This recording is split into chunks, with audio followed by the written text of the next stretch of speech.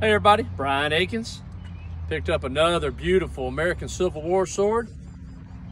About as pretty a southern sand casting as you're ever gonna see. This hilt still has some of the original gold gilt wash on it. This one was made in South Carolina by B. Douglas. Check out this blade. Classic unstopped fuller. Copy from the French. I like that quillion, how it's decorated.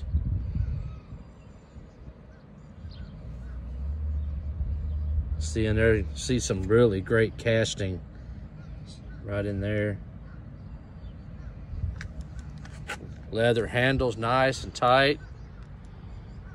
Twisted wire.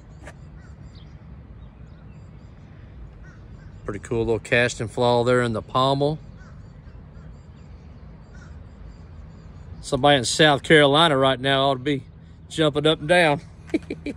anyway, guys, just wanted to show this sword off. This is a pretty rare sword. You do see that hilt a lot. You'll see some Boyle and Gambles with that same CS and star, but um, they're not the only ones that use that pattern hilt. Like I say, this is a South Carolina sword. Appreciate y'all for watching. Thank you.